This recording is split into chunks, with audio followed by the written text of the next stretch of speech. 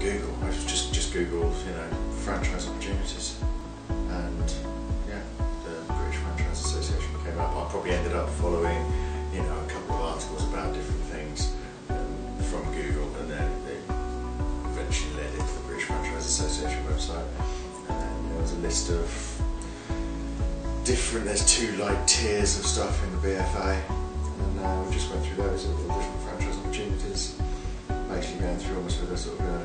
virtual magic marker. Going, no, Yeah, we, no, we just no. discounted loads of all the hospitality ones, all the business and marketing, uh, yeah, accounting yeah, ones. accounting ones, uh, business business advice, uh, drain rodding ones, of which there seems to be lots of them. In millions, yeah. Yeah.